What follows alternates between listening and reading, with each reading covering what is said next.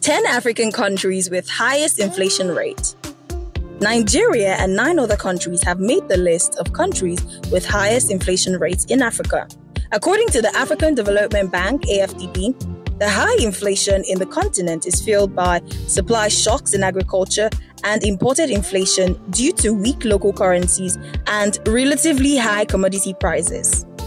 African countries that made this top list include Zimbabwe, Sudan, Sierra Leone, Malawi, Ethiopia, Nigeria, Burundi, Ghana, Angola, Sao Tome and Principe.